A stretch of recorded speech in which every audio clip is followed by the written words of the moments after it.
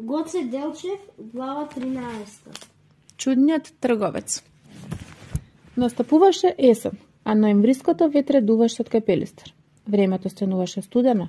Во таквиот есенски ден, пред портата на битолскиот затвор, застана убав пајтон. Од пајтонот скокна богат облечен човек. На главата носеше црвен фес, а појасот му го красеше сребрен синџир на кој беше врзан убав златен часовник.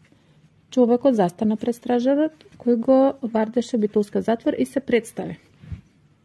Јас сум солунски трговец. Пријавете ме кај мудурот. Мудур, управито. Зошто праша стражарот? Сакам да разговарам со него за една многу важна работа, продолжи трговецот. Стражарот го пријави трговецот кај мудурот на затворот и тој заповеда да го пуштат. Мераба, мудур ефенди. Тоа значи здраво, господин управител. Трговецот го поздрави мудурот и длабоко се поклони. Трговецот извади сребрена кутија, му ја подаде на мудурот и го покани да седне. Бујрум, бујрум, седнете. Бујрум по, повели, значи. Трговецот седна на шарениот миндар. Управителот завитка цигара, ја запали, го измери со погледот од нозете до главата богатиот трговец и праша.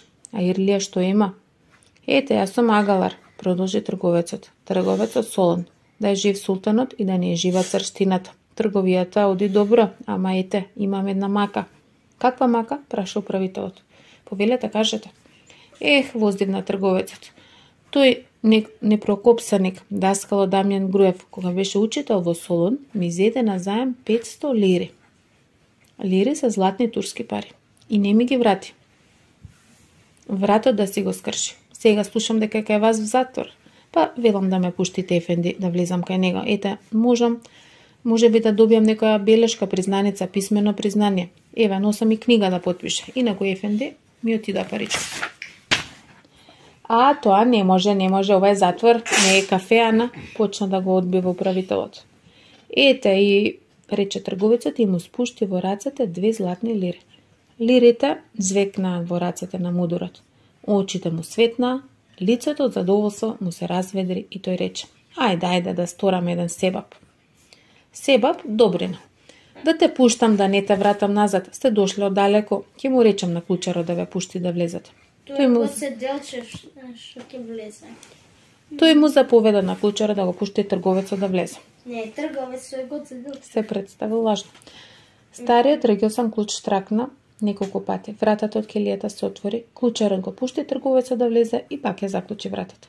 Трговецот влезе во келијата. Низ малите железни решетки, Одвај се пробиваше малечко снопче, сончева светлост. Внатре мирисаше на земја и мувла.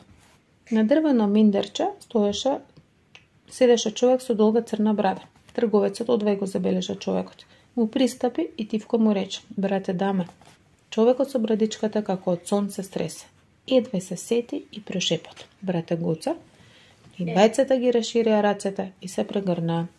Ти ли си, праша? Пак затвореникот како да не им веруваше на своите очи. Да, јас сум. В затвор? Што направи вака? Да, денеска сум бога солунски трговец. Дојдов да ми подпишеш признаница. На, еве ми должиш 500 лири. Ги зеда уште која беше учител во Солун. Подпиши ми за оправдание кај мудурот. И Гоце почна да се смее. Гоце, Гоце, што правиш, си играш со главата? Го прекори даме. Вака е најсигурно да се влезе в затвор. За две лири мудурот е во состојба низ покрива да те пушти да влезеш. Двајцата другари и револуционери долго долго разговараа за сите работи кои стојат пред организацијата. Потоа пак се прегрна. Даме го подпиша листот за долгот од 500 лири и трговецот излезе надвор од затворот. Еве мудар Ефенди, подпиша батакчијата, рече трговец. Одвај го кандисав и му го покажа листот. Ке го чувам се додека не ги плати парите. Инако, ќе ги барам преку кадијата. Треба да знае дека и за моите пари може да се лежи в затвор. Трговецот се поздрави со мудорот, длабоко се поклони и се качи на пајтонот. Пајтонџијата ги потера убавите коњи. Прапорците за двечка, Ждранг, ждранг, ждранг, ждранг. Коњите како на крила во галоп го несоа трговецот надвор од битола. По тој ноемвриски ден, попладне, 1901 година низ се расшири веста. Баш Комита дошол во Битола и тоа дења влегол во затворот и разговарал со комитите кои се в затвор. На сите страни беа испратени потери да се фати богатиот трговец, но трговецот кој знае каде беше далеко од Битола. Едно утро, во едно мало село, дојде трговец да купува свиња. Тој беше облечен онака како што доликува да биде облечен еден богат трговец. Трговецот прошета ни селото и праша дали има свиња за продавање и по која цена може да се добие. Тој праша: "Дечне, која ќе биде така добро да ми ја покаже куќата на Коджобашијата?" Коджобашија е кмет, старешина на село. Јас ќе ти ја покажам чичко, викне едно малечко босоного дете и се одвои од другарчињето. Детето тргна напред, а трговецот по него го следеше. Куќата на Коджобашијата се ногеше на крајот на селото. Откако влегла во дворот, трговецот му даде на детето неколку мангари. Тоа се бакарни турски пари. Значи не се златни, туку се бакарни. Не се толку скапи, значи. Го помилува по косата и му рече: Ти си јуначе, многу ти благодарам да си жив и голем да пораснеш. Детето ги грабна парите и истрча да се пофали дека добило пари. Трговецот тропна на вратата. Никој не му отвори. Тогаш тој пак тропна и викна: Домакине, тука ли се отвори? Ти да мил гостин. Домакина тогаш веќе отвори вратата, не го позна и праша: Молам, што сакате? Трговецот му пристапи поблиску и му одговори: Јас сум трговец, купувам свињи. Ете, дојдов Коџабаши во вашето село да купам некоја свиња. Настапи долго молчање.